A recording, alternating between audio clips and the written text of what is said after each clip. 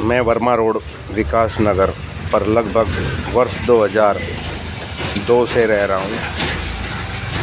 आज तक खूब अनेकों बार बरसात आई और बहुत अच्छी अच्छी बरसात आई।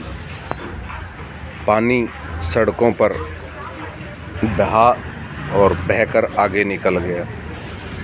लेकिन 2002 से लेके और आज तक पहली बार देख रहा हूँ मैं कि हल्की सी बरसात में ही जो सीवर डले हुए हैं, उनके अंदर से पानी ओवरफ्लो होकर निकल रहा है और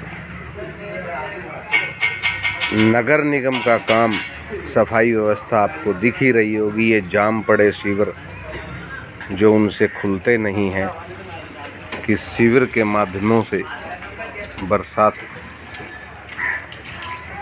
से अधिक पानी अभी निकल रहा है।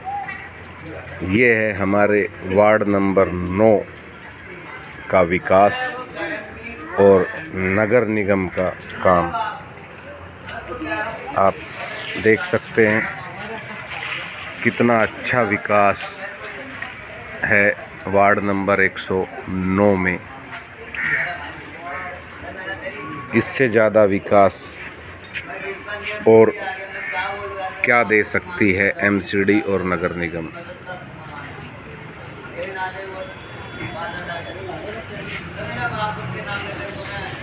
ये देखिए, पानी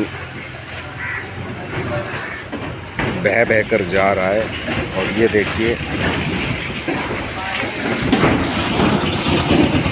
पानी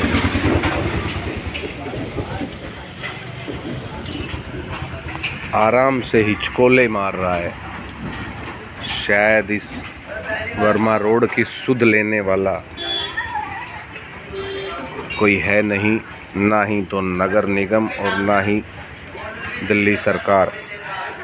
और एमसीडी के कर्मचारियों का तो कहना ही क्या है? माशाल्लाह, कोलची मार कर चले जाते हैं। सफ़ाई नाम की कहीं कोई चीज़ नहीं है।